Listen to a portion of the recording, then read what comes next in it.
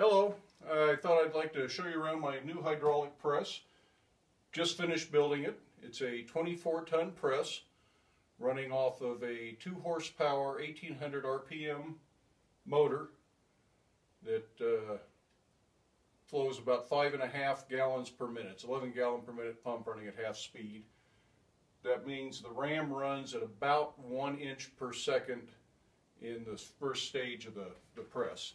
Most of the plans and inspiration come from Jim Batson's book, Hydraulic Press Forging. That's where all the technical information comes from. I changed the press around a little bit from his plans. I like the top-down press better, plus it gives me the cart underneath to put all of the uh, pumps, the tank, everything else in, so it's all one contained unit. I also got some inspiration from Randy McDaniel's book on hydraulic press forging. Some good information in both books. I'm going to go ahead and try to show you around the, the press a little bit here. Pardon the wobble on the camera. It's about seven feet tall overall. It's a five inch cylinder, eight inch stroke. There's a full eight inches between the dies when it's open all the way. And that gives me plenty of room for other dies. Punching is what I will do mostly under this. I just don't have punches built. So down here in the cart, you can see the filter. You can't really see the motor all that well. But it's all shoehorned in there pretty tight. But it all fits. A 10 gallon hydraulic tank. I say a 2 horse 1800 RPM motor running the 11 GPM pump at five and a half gallons per minute. It's a 24 ton press. So let's uh, give it a try here.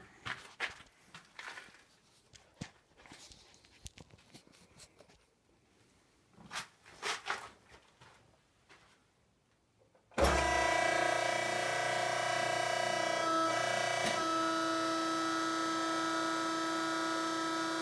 it's a little bit slow, but I knew that going into it. You don't always have to lift it all the way up. There's no reason to bring that up any further than the, the height of the material you're work. This bar is not very hot because I had to turn the forge off for better sound. This is uh, three quarter by one.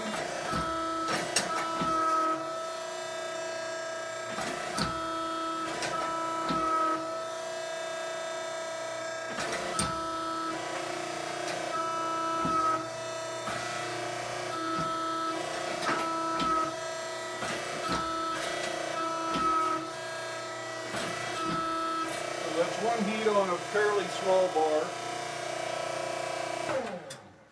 Or one, one heat, it wasn't very hot. That's uh, really pretty good amount of work for what, what I'm doing there. Different dies will have different effect. I'm going to go ahead and move the camera and we'll see if we can get that to, to forge at a higher heat here.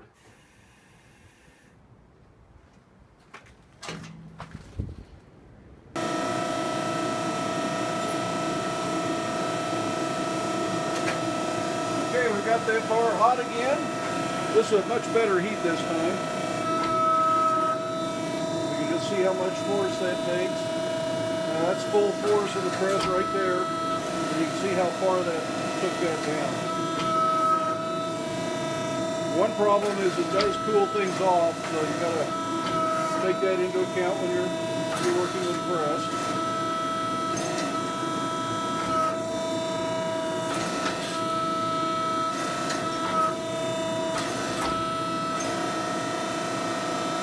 See you could get quite carried away there based on that.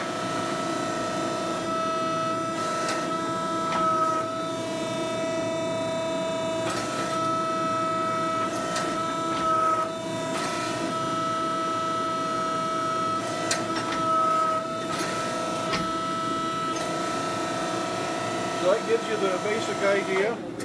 I'll shoot some more videos as soon as I have some more tooling made.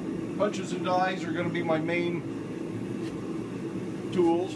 Again, the books I got inspiration from, Randy McDaniel's book shows a lot on tooling, how to, how to make dies. He describes these uh, removable dies. I don't want to touch that because it's hot now, but it just slides. A lot of them, it's not too bad. These just slide in and out. Change die system.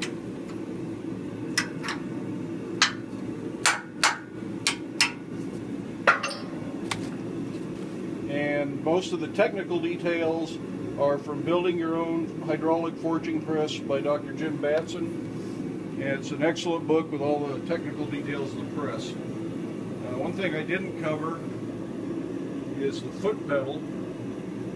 There, I have a linkage that goes to the valve. And one side makes the press go down, and the other side makes the press go up.